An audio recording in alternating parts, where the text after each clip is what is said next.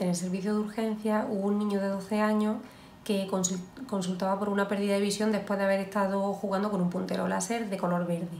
En principio esto puede pasar con cualquier tipo de puntero láser. Lo había mirado fijamente con un ojo durante 6 o 7 segundos, no es necesario que sea más tiempo, y posteriormente lo había mirado con el otro. Desde el primer momento notó que veía una mancha oscura central que le impedía ver la visión de los detalles. Vimos a este paciente y lo primero que podíamos observar es una quemadura en la mácula. La mácula, para que lo entendamos, es el centro de la visión. De toda la retina, el lugar donde se concentra el mayor número de neuronas que posibilitan la visión, se encuentra justamente en esa zona.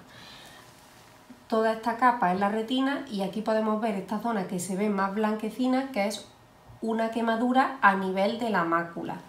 Esto hace que la calidad visual sea mucho peor y sobre todo para tareas que necesitan visión de detalle, como son la lectura, ver los detalles de la cara de las personas, todo lo que son las tareas escolares, etc.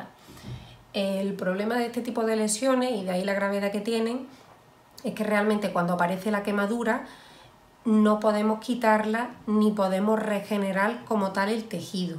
Siempre se intenta hacer un tratamiento con antiinflamatorios potentes, pero lo normal es que quede una pérdida de visión permanente y que va a dificultar en gran parte todo lo que son la, la visión de detalle.